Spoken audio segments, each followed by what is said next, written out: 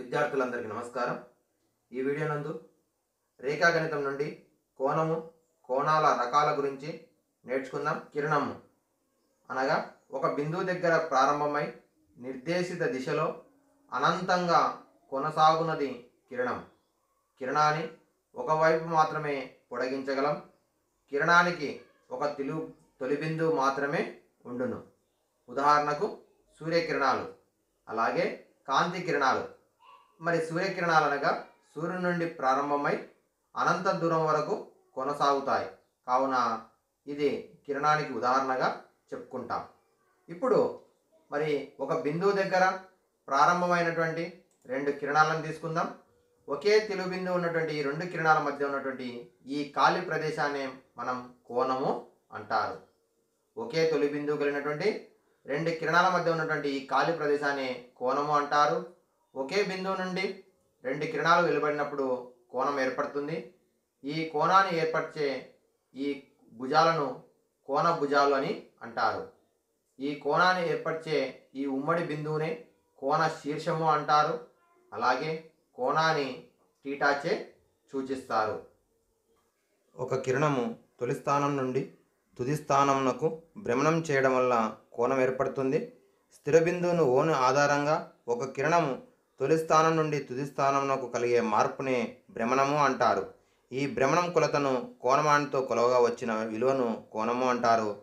ఒక పూర్తి భ్రమణం విలువ మూడు వందల అరవై డిగ్రీలు అగును. అల్పకోణము. ఒక కోణం విలువ సున్నా డిగ్రీల కన్నా ఎక్కువ మరియు తొంభై డిగ్రీల కన్నా తక్కువ అయినా ఆ కోణంను అల్పకోణము అందురు. ఒక కోణం విలువ సున్నా డిగ్రీల కంటే ఎక్కువ మరియు తొంభై డిగ్రీల కన్నా తక్కువగా ఉన్నట్టయితే ఆ కోణంను అల్పకోణం అంటారు. ఉదాహరణకు అరవై రెండు డిగ్రీలు కావచ్చు డెబ్బై ఐదు డిగ్రీలు కావచ్చు ఎనభై తొమ్మిది డిగ్రీలు కావచ్చు. అల్పకోణానికి ఉదాహరణలు అగును. రెండవది లంబకోణం. ఒక కోణం విలువ ఎగ్జాక్ట్లీ నైంటీ డిగ్రీస్ అయినట్టయితే ఆ కోణంను లంబకోణము అంటారు. మరొక పేరు సమకోణం అని కూడా అంటారు. అంటే రెండు కిరణాల మధ్య ఉన్నటువంటి కోణము మరి ఒక తొంభై డిగ్రీలు అయినట్టయితే ఆ కోణంను లంబకోణం అని అంటారు. మూడవ కోణము. ఒక బిందువు వద్ద వెళ్ళినటువంటి రెండు కిరణాల మధ్య కోణము తొంభై డిగ్రీల కంటే ఎక్కువ మరియు నూట ఎనభై డిగ్రీల కన్నా తక్కువగా ఉన్నట్టయితే ఆ కోణాన్ని అధిక కోణము అంటాము. దానికి మరొక పేరు గురు కోణం అని అంటాము.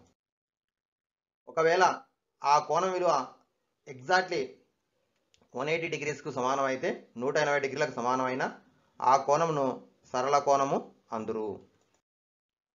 అలాగే ఒకవేళ ఆ కోణం విలువ నూట ఎనభై డిగ్రీల కంటే ఎక్కువ మూడు వందల అరవై డిగ్రీల కన్నా తక్కువ అయినట్టయితే ఆ కోణమును పరావర్తన కోణము అంటారు.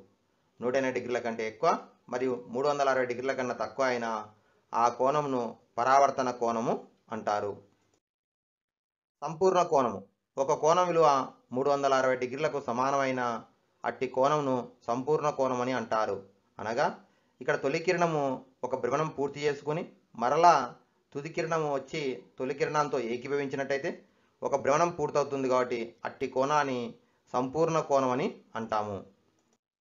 శూన్య కోణం.